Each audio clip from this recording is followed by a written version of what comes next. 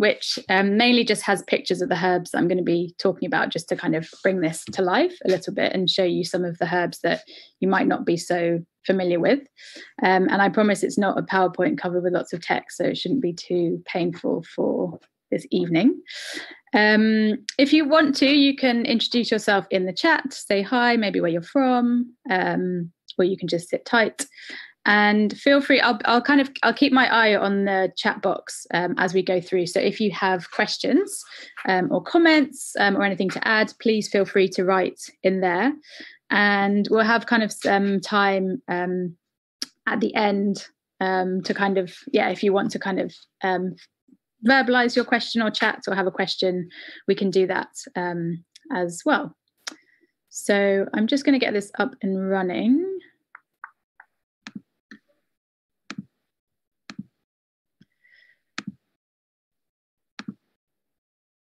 So, um, just as a little introduction for those of you who might not be um, so familiar with Hackney Herbal, we um, started as a project back in 2015 um, out of a community garden on Mare Street in Hackney, which is East London for any of you who might not be in London. Um, and our mission since the kind of very beginning has been around promoting well-being using herbs. So a huge kind of part of our work is running workshops and courses and events which show people um, how to grow herbs, how to identify herbs in the wild, and how to kind of harness the um, kind of numerous properties and benefits that they can have for our health and well-being. And when we started, um, we kind of started off by growing lots of herbs and making teas that we would sell to fundraise for our kind of free program of events and um, community projects. So we still do that, um, but we also kind of um, run a lot more events now, and our kind of the educational side of things is um, probably about kind of 80 90% what we spend our time doing. And all our kind of workshops and things um, and the tea that we sell all the money from that goes back into running free community activities. So we work um, in partnership with a number of hackney based organizations and a lot of our courses are, are kind of um, open and are accessible to people who are referred through a number of different mental health networks. So, drawing on kind of the be- benefits of people taking some time out in nature, uh, meeting others if they're a little bit socially isolated, and learning kind of many different ways that you can use kind of plants and nature to improve your well-being. So, these are just some pictures, just giving you a little flavor of what we do normally kind of pre-covid times we also run lots of kind of free public events in different areas around hackney. Um, but over the last few months we've kind of we've been doing a lot of that online. And in the last kind of couple of years um, oh there was another picture there. We've moved into a garden space which is in hackney wick over in east london kind of the very east of hackney. And from there we've we run kind of volunteer sessions. Um, we run a lot of our courses normally from there. And again kind of creating a space um, where people and nature and wildlife can all thrive together. Um, so the topic for today is all around winter well-being. And i'm going to kind of be talking you through um, a number of different herbs that you can use to support your health. So, I'm going to be talking a little bit about herbs for helping to kind of um, support our immune systems, keep us kind of healthy, um, things that can be supportive to us as the seasons change and as the weather kind of changes. Uh, I'm also going to talk about a few herbs we can have if we do kind of fall sick. So, simple things you can have for coughs and colds and flus and things. And um, also a few herbs for um, stress and for sleep. Um, so, times we live in can be a little bit stressful. Um, sleep can also sometimes, well, sleep can often play a really huge role in our overall health and particularly our immune kind of health. So I'll be kind of touching on some of those things. Um, and for any of you that might already know a little bit about herbs or have a bit of a herbal practice, um, you'll already know that um, many herbs have kind of many different properties. So um, they're not as simple as having kind of um, one herb for each thing. Each herb actually does a number of different things. So I'll kind of be touching on um, kind of the um, yeah, kind of broad nature of some of their actions. So um, I'm going to start with this one, which is kind of probably one of the most supportive things you can have for your immune system. And um, this is something that we use the, the flowers and the stems and also the root of the plant, um, commonly known as echinacea um, and something that uh, has been used kind of for a really long time by um, Native Americans. So, very kind of sacred plant to them. Um, a lot of the knowledge that we have um, about echinacea comes um, from their practices, and they would use this for whole host of things, whether it was for um, snake bites or inflammation or um, fungal infections. Um, today, kind of in the West, we most commonly use it for the immune system. So it's very kind of stimulating to our immune system and has been proven in kind of um, various kind of clinical studies to shorten the duration of a cold or a flu.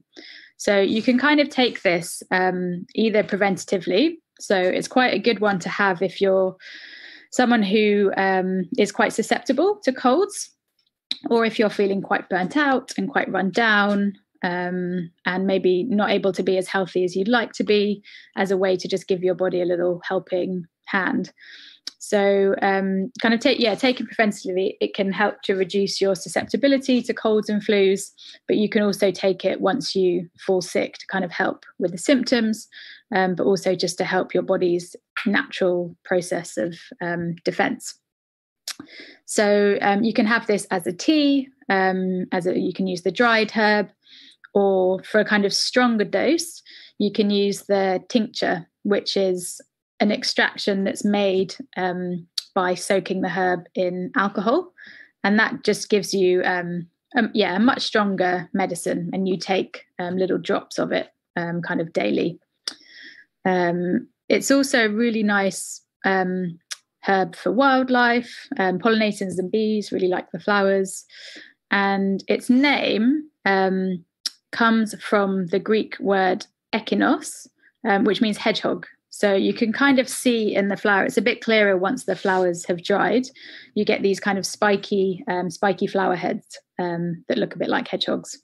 Um, sometimes also called um, cone flowers.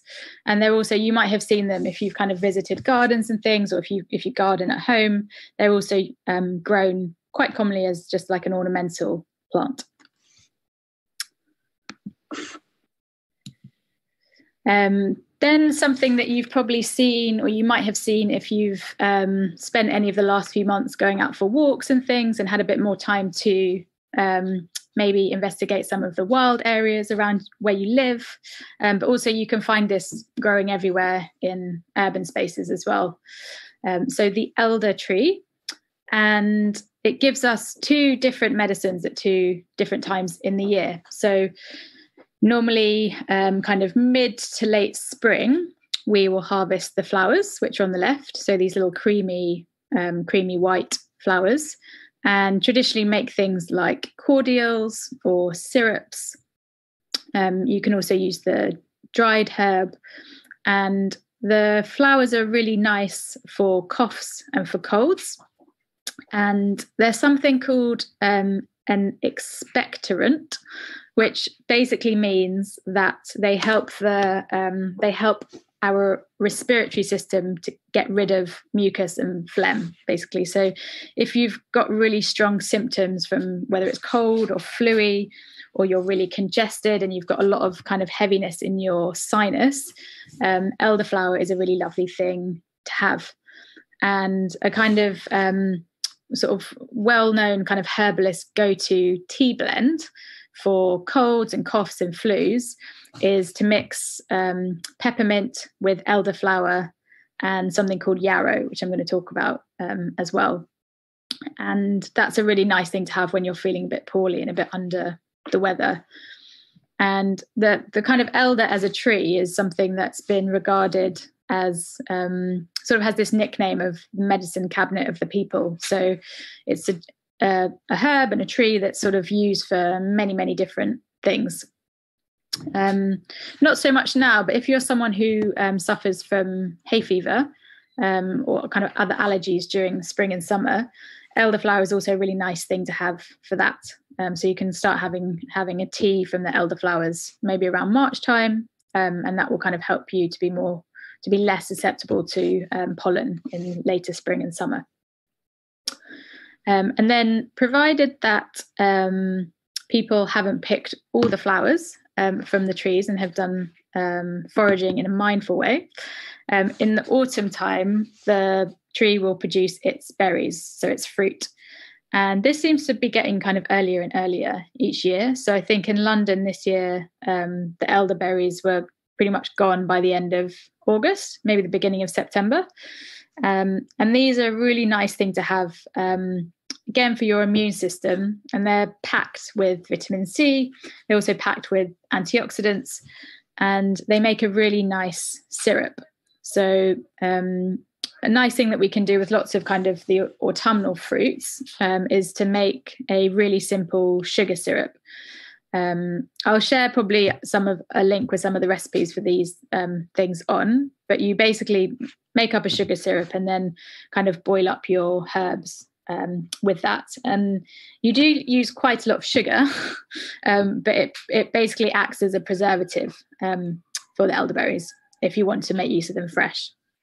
Um, also, you can also, if you wanted to, you could buy the dried berries and make a really strong tea from them. So those are two really nice, um, nice kind of things that we harvest from the elder tree. Um, and something that is probably, depending on when you are, it's probably a bit late for the berries now. Um, but I'm gonna, I'll also share with you a couple of places where you can source um, all these different herbs from um, online. Um, so another thing that so this is something that you will still be able to find out in the wild and be able to go and forage for if you can get out and about. Um, and these are rose hips. So every type of rose plant will produce these as their fruit. And the ones that you tend to find growing in the wild um, is uh, the Rosa canina, which is sometimes um, referred to as the dog rose. So they make these little um, bright red fruits. And you can find these kind of in hedgerows or um, sometimes along river, sort of riversides, along kind of country roads, um, as well as in kind of more um, sort of less um, maintained or slightly wilder urban spaces. So for us in Hackney, we have loads of these on Hackney Marsh, um, as well as kind of along the canals and in a number of the um, more kind of wild parks and green spaces and it's quite good to pick them when they've already gone a little bit soft. Um, they just kind of have they're a bit sweeter then and they're a little bit easier to um, cook down into a tea or into a syrup. And again they're kind of packed with um, vitamin c um, and lots of antioxidants and a really kind of um, nice thing to have through the kind of autumn winter transition um, if you do kind of go picking, go foraging, um, it's good to be kind of just quite mindful about other people or other wildlife that also want to pick these, um, or wildlife that kind of depend um, on these as kind of important food supply. So um, it's good to kind of go for a long walk. Um, and just take a few from each plant that you come across. And if a plant already looks quite depleted, um, maybe find one which has got more of abundant supply. Um, there's a kind of a saying which sort of says, um, particularly for when you're harvesting rose hips, that um, when the plant pricks you, it's probably time to move on. so you have to also be mindful of the um, quite sharp thorns on on this plant. Um, so again, this is something that you can kind of cook up to make a really strong tea, um, or you can make a syrup. so you can make quite a nice spicy syrup by boiling these up with um, any of your favorite spices. So I quite like using things like cinnamon um, and lots of ginger um, and things like kind of cloves. And you make a really kind of spicy, fruity syrup, which again is something really nice to have as a preventative. So something that you can have a spoonful kind of every few days. Um, or something quite nice to have if you do um, feel a bit poorly or you fall sick, um, to have a quite nice sort of warm, comforting uh, drink.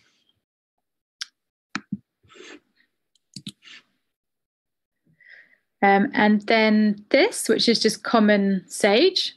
Um, so the same sage that you would kind of cook with. Um, and this is a really lovely herb to have if you've got a sore throat. So um, it's a plant that's kind of has really high um, levels of oil, and um, a lot of the oils kind of contain the properties that make sage um, antibacterial, antifungal, antiseptic, antimicrobial, antiviral. Um, and all of those things, all plants kind of have a certain amount of those things as part of their sort of own defense mechanism. Um, but some plants have um, very high levels. So it's really kind of supportive to our own immune system and kind of helping um, when we're trying to fight, whether it's um, an infection or um, bacteria or something. So um, having a cup of sage tea just on its own is quite savory and quite savory. Um, sometimes tastes a bit like drinking sausages, which is maybe not always so appealing. So appealing. Um, so I quite like when I have um, sage tea. I often mix it with um, things like honey and ginger, maybe some lemon, and that makes a really nice um, drink. Even if actually you don't have a sore throat or if you're not sick, um, that's actually quite a nice drink in its own right. Um, and it's a very drying plant. So if you have a cup of sage tea, you'll probably notice that your mouth goes kind of completely dry. And that's kind of one way that it helps with um, sort of cold and flu symptoms. So again, if you're if you've got a really runny nose or your eyes are kind of streaming, um, it can help just to um, kind of alleviate some of those symptoms, um, particularly if you're sick and you kind of need to carry on um, with work or just life or whatever. Um, it can just give you a little bit of a help with that. Um, and another way that you can use it, so in that kind of drying process, it's good for feverish conditions, also good for night sweats, um, and also good for menopause. So good for kind of hot flushes um, kind of all drawing on that very kind of drying um, action that it has. Um, and you can just use kind of the same sage that you might have already as a dried um, herb that you cook with. Um, or if any of you happen to be growing any of these things, you could use the fresh fresh herb as well.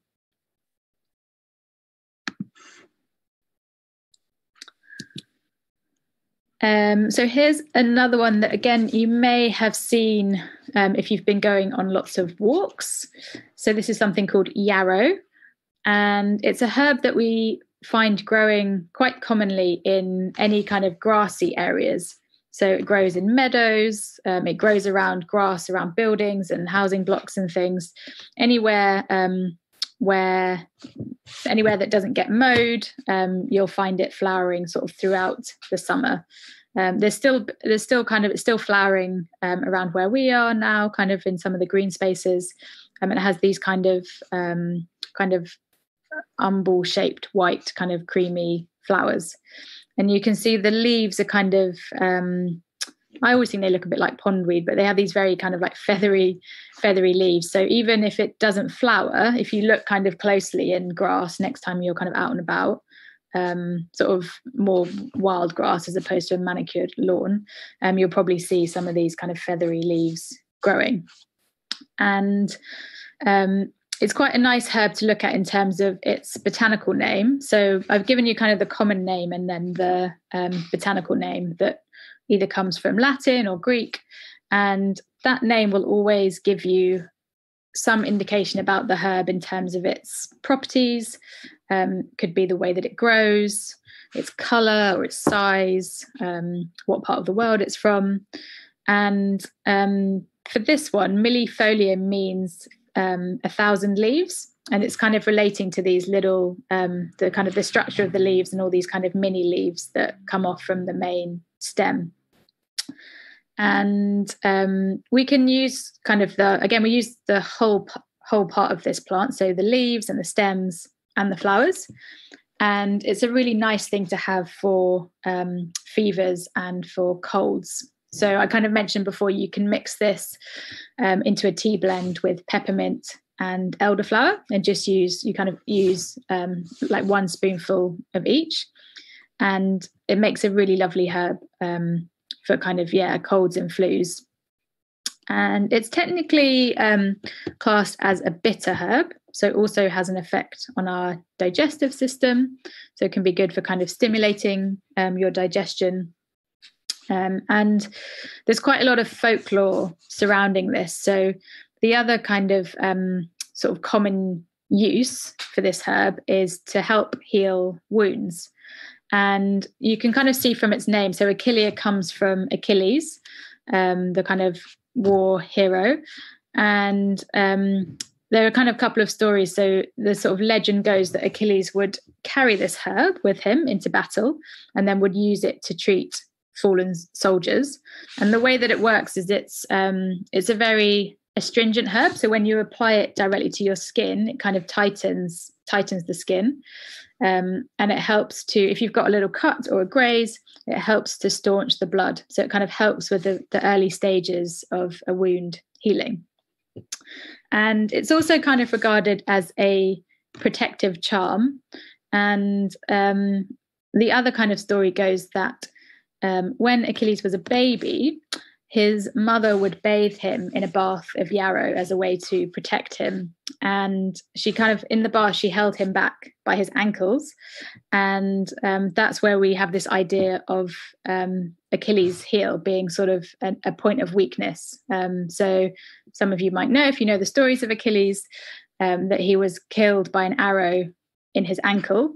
Um, so it's sort of believed that, that his ankles were the only bit that didn't get the the yarrow bath. So were kind of where his um, where his weakness was.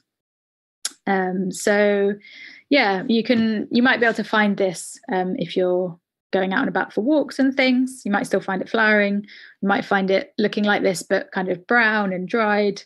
Um, but it's something that you can make use um, make use of in a nice kind of comforting tea for sort of yeah colds and flus and sniffs sniffs and things.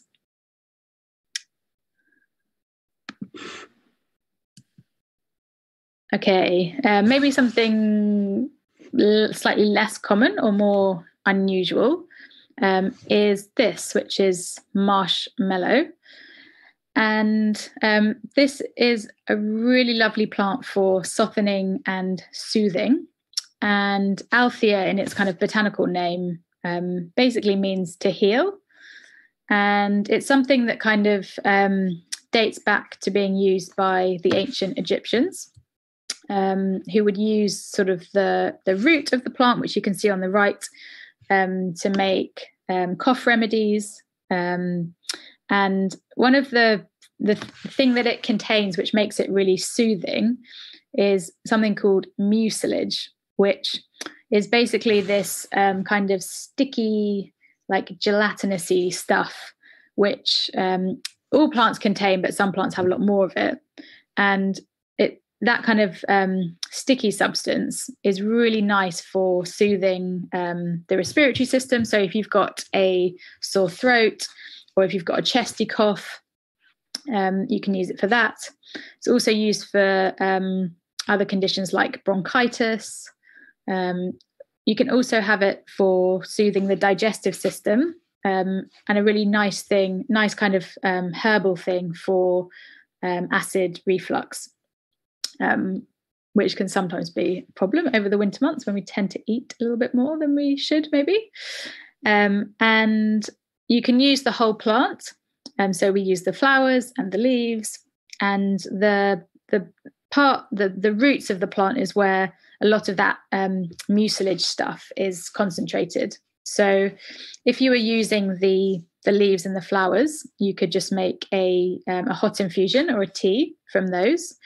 Um, but if you wanted a really like a stronger effect, um, you can get hold of the dried root and um, instead of making a hot tea, the, the kind of the best way to extract that gloopy stuff is to soak the root um, in water overnight and you'll find that kind of the water goes quite thick um, and then you can just strain out the um, the marshmallow and then just have that as a um, a cold drink.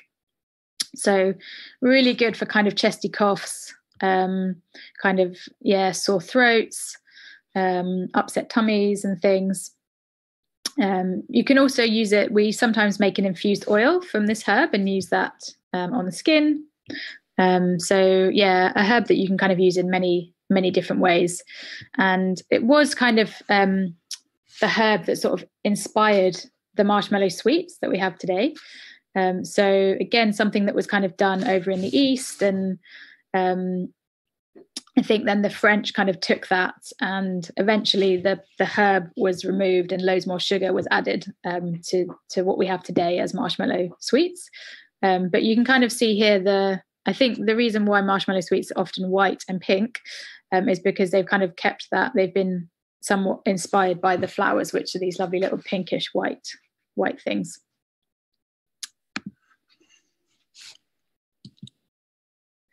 Um, so here's one that probably uh, I imagine a lot of you are probably quite familiar with and probably had before um, is chamomile.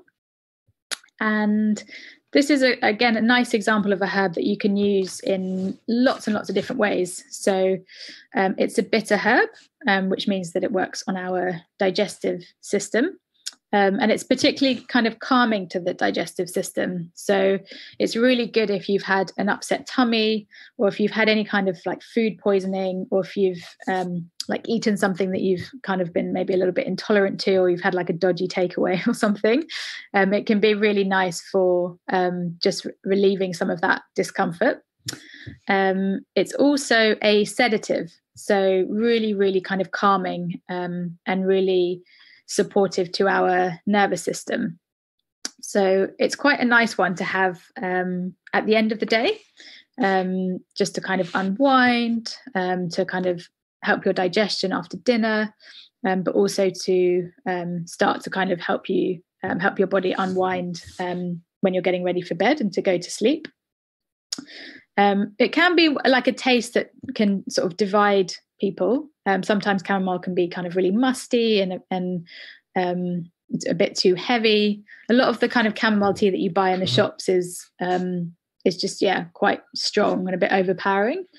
Um, but if you if you do kind of buy the herbs individually, um, it's quite nice to mix chamomile with something, and then you can balance some of its kind of very strong flavors. Um, the other nice thing that you can do with chamomile um, is to put it in the bath. So um, if you've got the tea bags, you can just throw a couple of tea bags into the bath, and it's really um, it's a really nice thing for the skin. So it sort of works as an anti-inflammatory, so it's kind of good for irritation, um, good for any kind of swelling that you have. Um, but really nice as a way to kind of again, it's something that's really nice that kind of relaxes you in the evening. Um, also good for children if you if you have children or if you know people who've got kids um, that are quite active at night time and struggle to kind of get to sleep then um, making them a chamomile bath can be a nice kind of supportive thing um, just to calm them down a little bit. Um, but yeah really nice thing kind of um, to have kind of for the mind but also kind of for the body that you can just add into the bath quite easily. Um, so another nice um, sedative herb um, for the nervous system and kind of um, good one for relaxation is lemon balm. And this is something that you can have. Um, I quite like having lemon balm during the day. So it's a sedative, but it's not. Um, you know, if you have a, if you have some lemon balm tea during the day, you're not going to suddenly fall asleep, kind of in the midst of doing stuff. Um, it's quite an uplifting sedative, so it's it's um, yeah something that you can have during the day as well as in the evening, and um, it's a really nice antidepressant herb. So um, gets used a lot for things like anxiety, um, things like depression, and it's also a really nice herb to use as a base um, when you're mixing other herbs together. So um, towards the end, I'm going to give you just a few examples of some tea blends that you can try out if you want to go away um, and get some herbs and kind of mix them together to make your own blends. And I always feel like really mean describing lemon balm as like a filler herb, but um, because it's a great herb in its own right but it does work quite well as a base because it's got quite a subtle taste. Um, it's quite sort of just mildly kind of lemony and sweet, so works quite well to balance some of the other um, more bitter herbs or some of the other kind of savory herbs, and just yeah blends well with a lot of the herbs that we tend to work with. Um, it's also um, an antiviral and um, has had sort of various tests show that um, it's also effective against the cold sore virus. So, um, if you wanted to make use of it in that way, um, you can use the essential oil and kind of add a few drops of that into if you've already got like a cream or something, um, or if you're making a balm. Um, you can use the essential oil as a, a, kind of natural remedy for the cold sore virus. Um, and yeah, it's a really nice one. You can try it on its own. Um, it's also a herb that you can sort of more during the spring and summer get away with growing indoors on a sunny windowsill if you don't have any outdoor space. Um, and kind of looking at its name, Melissa, um, it's basically a herb that has quite a strong connection with bees. So um, the kind of the the root of the word Melissa that it's kind of it's been named after is linked to um, kind of things like miel, which is like honey, and um, some in the in the past, but some beekeepers still do this as a kind of old tradition. Um, when you set up a new beehive, um, some people will use um, lemon balm, whether it's fresh or um, dried, to kind of um, almost wipe the inside of the hive out, and it's said to kind of just calm calm down the bees a little bit.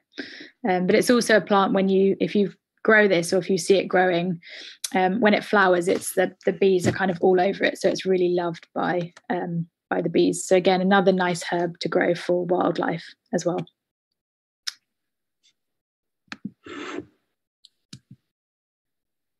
Um, so another one. So we're kind of in the sort of um, stress busting section um, of the talk. So this is one that you may have seen growing um, up people's fences um, it's a climbing plant, so it tends to kind of scramble and grow um, to cover a wall. Um, sometimes kind of tumbling over people's um, front gardens and back gardens and things. And it's the plant that we get passion fruit from. Um, the kind of varieties that we grow in the UK are slightly different. So they kind of they you may have seen them. They produce these little like orange fruits, so different to the kind of um, more kind of tropical passion fruits that we would import um, from kind of hotter climates, warmer climates. Um, so there's lots of different varieties, and this is um, a really nice herb to again that you can use for stress um, and for sleep. And um, it's another nice um, sedative, so it can be good for anxiety and for stress, for kind of nervous tension, um, and it's also analgesic, so it has a pain um, pain relief element to it. So if you're someone who um, finds that, like often in the cold, a lot of our old injuries or niggles or joints or whatever it is kind of can sometimes flare up in cold weather and damp weather and give us a lot of discomfort. Um, so this is a really nice thing to have for that, particularly if it, if that kind of pain is also affecting your sleep pattern. Um, it's also something that um, you can give to children. So it's kind of um, also been used for things like um, hyperactivity or hypersensitivity in um, children. Um, it's also sometimes used to treat um, tremors in Parkinson's disease. And is another another plant actually that's used quite commonly by Native Americans. So they have this nickname Maypop, for the plant. Um, and it's also, um, again, in kind of various different sort of clinical studies and tests, um, been shown to reduce GABA in your brain, which is a type of acid. Um, and that basically can help to reduce your brain activity. So it kind of um, helps to calm you down, basically. So can also be good if you're um, if if you find that um, you struggle to sleep because you're like your brain is still quite active or you've got a lot of thoughts running through your brain brain um, if you find it hard to switch off this can be a really nice one to try um, and it's also a heart tonic so also kind of can be used for things like emotional upset um, or emotional pain um, as well as more kind of physical sort of nerve pain. Um, so yeah, it's a really lovely one to try. I kind of, if you haven't had this before, um, I kind of encourage you to to try it. Um, it has quite a nice sort of um, sweet, kind of grassy taste to it, but it's quite um, it's quite comforting, comforting one to have. Um, and the kind of the passion flower. Um, so the name kind of comes from the. Um, I always get this wrong, but basically comes from the structure of the flower. So there's this sort of um, cross, sort of resembling sort of the crucifix in the flower, um, and then um, this is the bit that I always forget. Um, it has 10 or 12 however many disciples there were it has those kind of around the outside of the flower.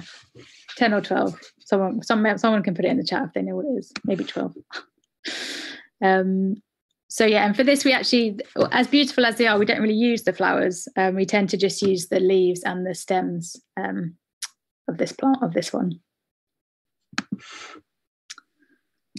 um okay so another kind of again another really nice um, plant that we use in many different ways really nice edible herb as well um, and really kind of nutritive plant. So um, from kind of having things like porridge from the oats. So it's the same, same plant that we use to make oats um, and have porridge and things.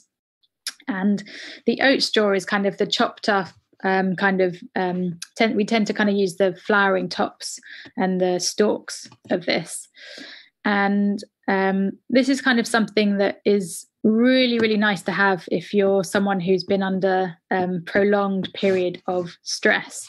Um, if you're burnt out um, if you're prone to burn burnout and if you're kind of also if you're if you yeah if you kind of know that you're just going to be in a period of stress and there's not much you can kind of do um, to alleviate that. So whether it's yeah family things or work or things where you just know it's going to be a bit stressful. Um, and it kind of it really works to help our bodies repair nerve damage um, particularly kind of um, from our emotional side. Um, so again when we've been under pressure um, or under kind of prolonged periods of stress. Um, it's really uplifting. So it's another example of an antidepressant herb um, and is again just very kind of comforting to drink. So again, it's sort of this like um, almost kind of grassy, sort of sweet, sweet hay type taste. Um, and is really nice to combine with um, things like lemon balm and with chamomile to make a a really nice kind of um, sort of restorative tea. So you could also use it um, for sleep, um, but it's something really nice. I, I quite like having um, like a combination of oat straw and passion flower in the morning if I know I've got um, like a really busy day and I'm kind of stressed that um, I'm not going to get everything done, or if you've kind of got a number of different things to do and you're just worried um, that it's all just going to be too much, then having kind of the passion flower and the oat straw just to kind of bring you down a level um, to rationalize things can be can be really nice. Um, you can also this is the, the oat straw is another nice one, um, which if you wanted kind of a stronger um, dose, so stronger medicine, um, you could have the tincture, and that tends to be called um, milky oats tincture. So it's made from the the kind of fresh green oat flowers. Um, so a lot of the things I've kind of been talking about today have been um, we're sort of talking about using the um, the herbs either fresh or, or dried um, to make sort of teas or syrups. Um, but the tinctures are something you can look at if you wanted a, a kind of much stronger um, medicinal hit. So I've put on here um, just these are kind of some not these have got some other herbs that we haven't kind of talked about, but just some ideas for making different blends. And um, if you want to kind of start making um, your own tea blends, then the easiest thing to do um, is to start off just by mixing kind of equal parts of different herbs. And you can either kind of mix things based on their properties. So, um, say if you want to make, um, so like the sleepy tea is mixing um, herbs that are all sedative um, or calming.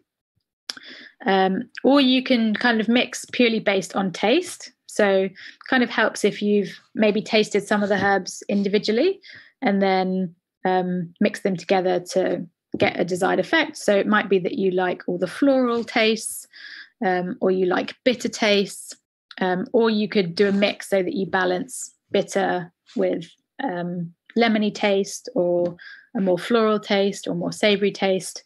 And um, you can then kind of come up with combinations that you enjoy, um, but also combinations that you might use for a certain um, time, whether that's when you're stressed or when you want to go to sleep, um, whether you've got sore throat. Um, so you can kind of customize things. And um, these are just some examples, and we can probably send these to you afterwards if if you want them. Um, but it's I always say it's really good just to experiment with what you like um, also, if you want tips, you can kind of go onto the herbal tea section of our website and just I always say this: like you can copy them. You don't have to buy them. You can just you can copy what we've done. Not all of them are totally equal parts. There's a bit more, um, a bit more kind of um, yeah, kind of uh, effort or kind of care went into the, to blending them so that they taste well, taste good, as well as having the intended properties. Um, but if you want some inspiration, you can look there. Um, and when you're making a tea, you generally use sort of um, one or two heaped teaspoons of dried herb per cup. And it's a good idea with herbal teas if you want to get the kind of full flavor and the, the full kind of properties and benefits to let your tea brew for between 10 and 15 minutes. Um, and again, see what works for you. If you don't really like strong, bitter, um, like kind of really strong tasting tea, then maybe you brew just for 10 minutes and that'll be enough. If if you really like strong things, then you can, you know, leave your tea for 20, 30 minutes. Um, you can kind of like brewing up your herbs in a teapot work quite well because then you can have, you know, maybe you pour the first cup at 10 minutes um, and kind of get one sort of taste and then the second pour that you have will be um, a lot stronger. So you'll kind of get a, a kind of um, sort of full profile of diff- the different flavors. And um, bitter is something we've sort of trained out of our diets um, to be a taste that we don't really enjoy or we kind of um, yeah don't have so much. But it's actually really um, good for our digestive system to have bitter. so it helps to stimulate all our digestive juices and get everything kind of going.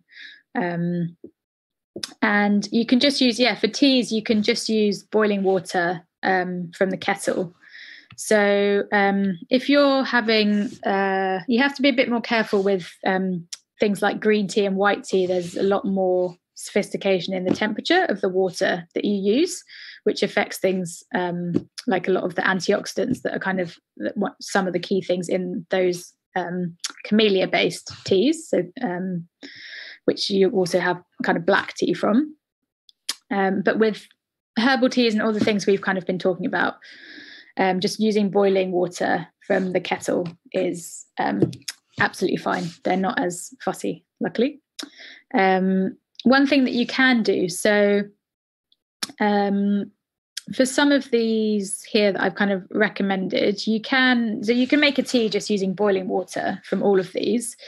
Um, if you were making, if you wanted to make a tea from some of the berries and um, any kind of roots of plants, so say if you were using echinacea root, um, or if you were using um, what else we have, or if you're using some of the spices like star anise or cinnamon, um, you get a much stronger taste by making something called a decoction, which is basically where you um, put all your herbs and some water into a saucepan, um, bring them to the boil, and then simmer them for sort of about 15 minutes. And it's just a more effective way of getting the goodness out of um, the kind of woodier parts of the plant, so the fruits and the berries and the um, the roots and things. You could again, you can use kind of just boiling water, but you won't get as strong an infusion um, from them and sometimes when you do that you can you extract a little bit more of the bitterness Um, so something that you can kind of add in to balance that um, would be some licorice root, which is a kind of really um, sweet, kind of naturally sweet um, herb, which um, also is actually really good for your um, adrenal system. So another really nice thing for kind of when you're feeling quite stressed and your body's quite run down, as well as being nicely sweet. Um, so, and then the the final thing that I always recommend um, for people to make at this time of year, and if you've been following us, you may have seen us talk about this, um, is something called fire cider, and this is basically. Um, I'd say if you go away and do one thing to support your immune system and support your health, or to make for someone else as a Christmas present, um, make this. um, so this is basically like a super kind of infused apple cider vinegar. Um, and I'll, I'll I'll post in the chat a link to the recipe, which is on our blog for this. And it's kind of a combination of spicy, um, pungent, aromatic herbs, um, and then you can you might be able to read on this label um, chili and ginger and garlic, um, horseradish, um, lemon, and those kind of combination that combination of um, sort of foods and herbs and things is one super super warming. So if you when you take this it, it, warms up your whole whole body so really good if you're someone who kind of gets cold um, quite easily over the winter or if you spend a lot of time outside. Um, it also just kind of gets everything going in our bodies so it's really stimulating to our digestive system. Um, and it's kind of really good for our immune system. So all of these kind of combination of things are kind of antimicrobial, antiviral, antiseptic, antibacterial, um, antifungal. And so again, kind of help to keep our bodies healthy, um, but also can be used kind of um, it can be used kind of preventatively, but also you can take it if you do fall sick. Um, so it's kind of uh, a recipe that um, the sort of fire cider was sort of coined by an American herbalist called Rosemary Gladstar. Um, but the idea of sort of infusing herbs in vinegars has been around for a really long time, and again was something that um, used to be done in the past as a way to preserve um, fresh herbs over the winter when um, the kind of fresh supply is low because the plants aren't really growing that much. Um, and you can kind of make um, if you wanted to make just a kind of herb infused vinegar, you could use things like um, rosemary and thyme and sage. And there's a story. Um, again, there's very different different variations of the story depending on which kind of book you're looking at. Um, but there's sto- kind of story around um, the four thieves who were around during the plague in London um, and were kind of going around sort of looting people's homes, that people who had died, and robbing people when they were sick and um, they were sort of believed to be taking this four thieves vinegar which was kind of an infused vinegar of lots of those aromatic plants um, and kind of that was the reason supposedly why they didn't fall sick um, so it kind of protected them against the plague apparently um, so what you basically do is you just kind of chop everything up bung it into a big kilner jar or a big jar um, cover the whole thing with apple cider vinegar um, and then leave it to infuse for about four weeks. And then you strain it all out, and you can have sort of a teaspoon of it with some hot water and some honey. Um, you can also add it into soups and stews. You can cook with it. Um, and if you do fall sick, you can kind of take a few spoonfuls of it um, a day. And the apple cider vinegar as well is a really nice thing to have um, as part of it as a really nice anti-inflammatory. So um, really good again if you kind of have a lot of joint pain or um, kind of inflammation associated uh, associated with things like arthritis. Um, it can be really supportive to that. Um, but apple cider vinegar on its own is also kind of a, a nice um, health food thing. It's kind of good for digestion. It can be helpful for blood sugar. Um, and the, the, reason why it's sort of used as well in this recipe is it's really good at extracting minerals um, and kind of the pungent flavors and all the goodness that are in are in all um, those ingredients that we put put in. So it kind of it just sucks um, everything out of those plants. Um, so yeah, a really good one to try. Um, I think that gets us to the end. So I'm just going to um, turn this off so we can all kind of see each other. Um, so if people have got questions, I've just seen, I'll copy a few things into the chat. Um, in terms of books, um, conveniently sat in front of my bookshelf.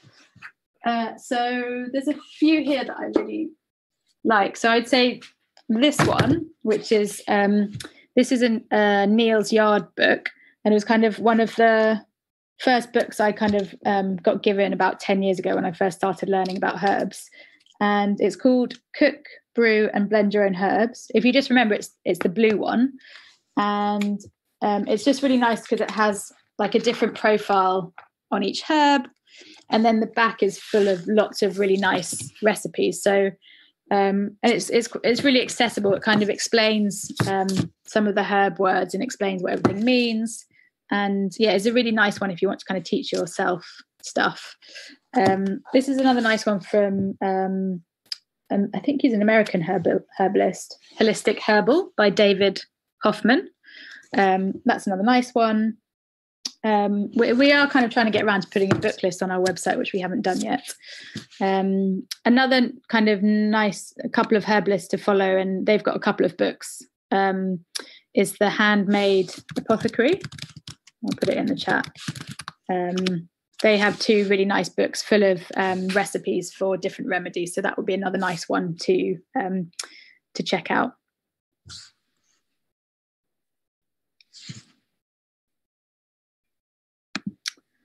Um, so I'm just while you might be thinking about questions, I'm just going to paste a few things in the chat.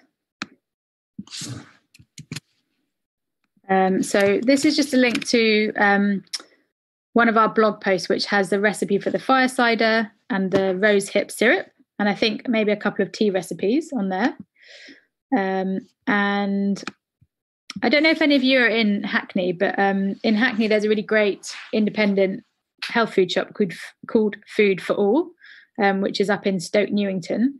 And that's a really nice place um, where you can go in and buy herbs. And they have all their herbs in jars. So you could also, um, if you're trying to reduce containers and packaging and stuff, you can go in there with your own jars and pots and things and fill things up. Um, but a couple of other online um, online places um, to buy herbs, but also um, kind of all all the sort of herbal supplies you might need for making things are Baldwin's, um, which is kind of probably one of the oldest still going apothecaries in London. Um, so uh, you can go in there; it's a, like a physical shop um, right by sort of Elephant and Castle roundabout. But you can buy everything online. Um, and then Starchild is another nice sort of independent um, apothecary. They're based down in Glastonbury. Um, so yeah, both of these places you can buy dried herbs and um, all the supplies you might need for sort of making herbal things. Um, yeah. Uh, what have we got? When does echinacea flower? Um, so echinacea will flower normally um, some in the summertime, sometimes more like late summer. Um, so yeah, sort of anywhere June, July, August time.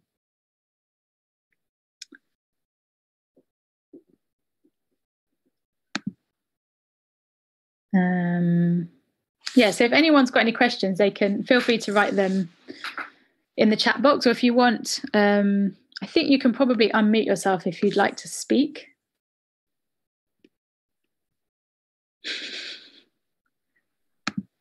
Um, or if anyone's got any anything they'd like to share. Got any any um, any suggestions for places to forage in Hackney?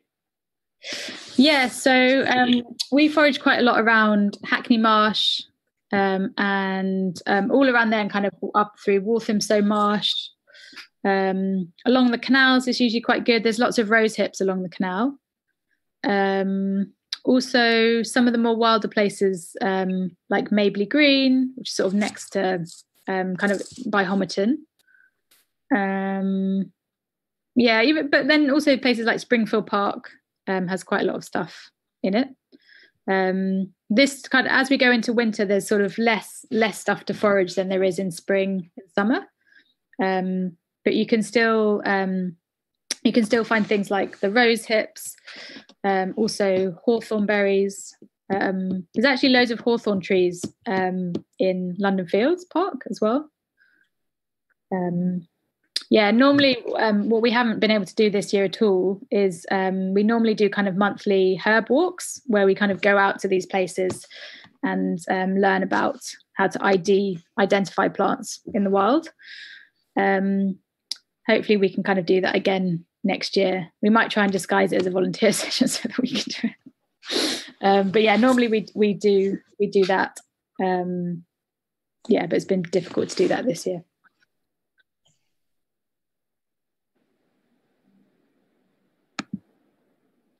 Um, any other questions? I'm just going to pop in here for those who are kind of interested, just a link to our website. Um, there's also something that we kind of launched this year um, was something called the Herbal Journal, which is um, like a downloadable um, seasonal guide to um, using herbs. So there's a summer one, um, there's an autumn winter one, which is kind of packed with recipes and kind of uh, things. So we, it's kind of themed around growing and gardening and self care um, and stuff. And they're eight pounds to buy, um, but that all goes to support our kind of community work. Um, so yeah, you can check that out if you want. If you're interested in making a lot of things and you'd like some some recipes and our kind of um, our um, yeah top tricks and tips and things, you can you can check those out. Um, we also share some. I don't know. Some of you might be following us on social media, but we do share a huge amount um, freely on there too. Um, if you do want to learn more about herbs, we did a lot of videos over the summer, um, so you can go and watch watch those um, if you want to learn more about kind of individual herbs um, and also using sort of doing more sort of self carey things. So using essential oils and natural ingredients to make your own products.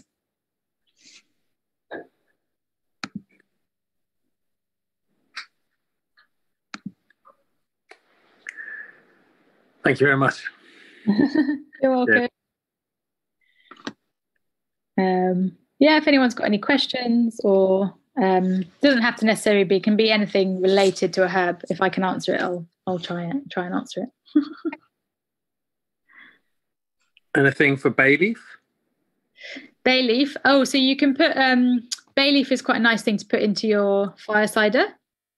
Um, the other thing that you can do with bay leaf, that's over there on the shelf, is um, so another thing that if you wanted to use herbs more for skincare, um, you can infuse your herbs in oil. And um, one thing that we kind of do at this time of year, um, which if you're interested in finding more about, you can also come to an upcoming winter remedies workshop, um, is to infuse, make quite a strong kind of, and again, sort of anti bacterial antimicrobial infused oil, um, which we then turn into like a balm that you can use as a herbal Vicks. Um, so again, it's quite a nice. Um, it's another nice warming thing. Um, you could maybe you could have it as a tea, um, but yeah, it, it works quite well in the fire cider.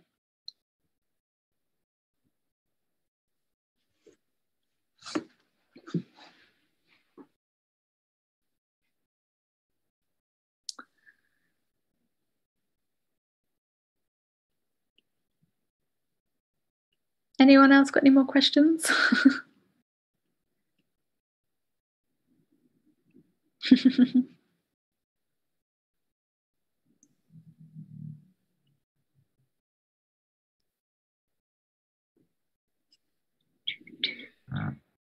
Thanks, Natalie. Yeah, we, we, have got um, yeah, yeah, no, we've yeah, we've got a lot to um, digest, digest, and well, not just herbally, mentally as well. Yeah, thanks. Uh, thanks, thanks. It's been really, really interesting for us. Yeah. Great. Thank you. Yeah, yeah no, cool. Bye bye. Um, oh, we've got a question. What is the best way to dry the leaves or the flowers? Um, so you can either um, kind of leave things to dry um, passively. So you can kind of just lay out your leaves and your flowers on a tray or Um, you can put them on a piece of like um, on a tea towel. The, the main thing you want to do is put them somewhere where there's really good ventilation, um, and ideally wet, like not somewhere damp. Um, and also to dry them where there isn't lots of direct sunlight um, hitting them. Um, if you kind of if you wanted to dry lots in big quantities, um, you can also invest in a dehydrator, um, which is kind of like something that you plug in and is a very low um, temperature and has a like a motor with a fan in it. Um, we kind of use a combination of the two. We have kind of big drying racks, um, but the, yeah, the main thing is leave them to kind of to dry out. You can also use. um let me just grab one things like this, which is um, you've probably seen these. These are like blue mushroom crates. Probably, if you haven't seen these, then you just you probably haven't really been out out and about very much. Um, and you can just put your usually line them with like a piece of paper or something, and you can just pop your herbs in here. And the nice thing about these is they're um, I mean, they're a little bit ugly, um, but you can stack them. So if you're trying to dry quite a lot, um, and because they're sort of like covered in holes, um, they actually work really well. And you can normally always find these kind of, um, they're what mushrooms get delivered to cafes and markets and things in. So you normally find them on the street. So you can take them home, give them a good wash. Um, and it's, yeah, a good way to make use of something that would otherwise kind of just be, just be wasted.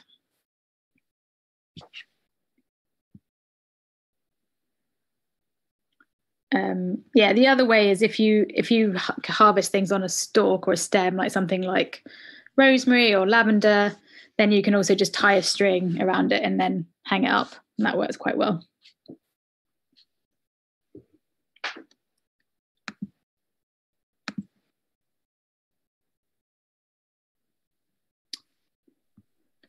Okay. thanks again. You're welcome. see, see you down at the, the shop yeah. Excellent. Um, yeah, if anyone if anyone is local, we kind of um, well, we've got a few more volunteer sessions for the rest of this year, which are kind of all already massively oversubscribed. Um, but you can go and see one bit of the garden um, when the cafe, which is called Thingy Cafe um, in Hackney Wick, is open. You kind of you walk through the the garden to get into the cafe. Um, so you can go and have a look. It's not our main herb garden. Our kind of herb garden's on the other side of the building, which again you can walk past and look look through the railings. Um, but hopefully next year we'll be able to kind of resume our normal program of events and get a lot of people coming to visit um, the space. So I think if no one else has any more burning questions, um, we can draw to a close. I'm not sure if um, if the Grow at Home team want to say anything, or if you've got anything else coming up you want to mention, if they're there.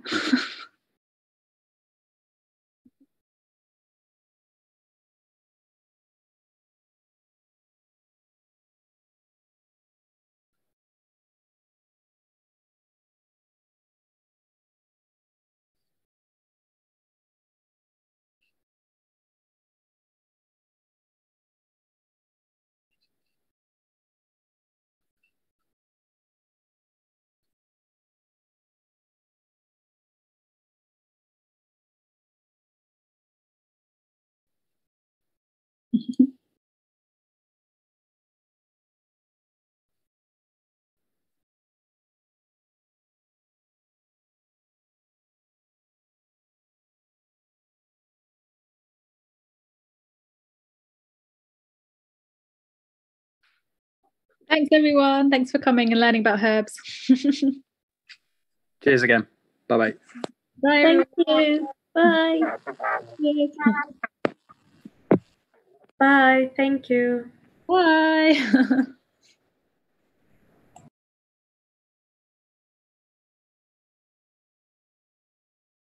no worries. Thanks for having us. yeah. yeah, really good. Yeah, I know. I'll have to bring you um I've got to make it worked quite well actually. I've got one here that I did in a demo like the other day, which I've named Butt Corona.